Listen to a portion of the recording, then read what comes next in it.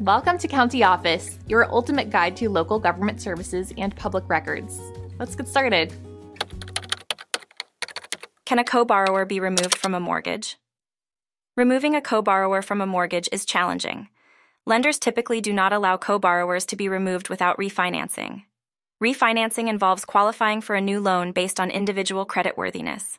It is not a simple process and may require meeting specific financial criteria. Legal obligations towards the mortgage must be considered before attempting to remove a co borrower. Seeking legal advice is advisable to understand the implications fully. The lender ultimately decides whether to release a co borrower from the mortgage. Understanding the terms of the original mortgage agreement is crucial before pursuing any changes.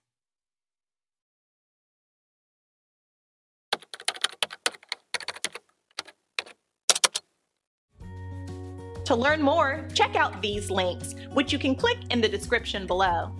And feel free to comment your questions. We're here to help. Thanks for tuning in to our video. Please like and subscribe and leave a comment below. See you in the next video.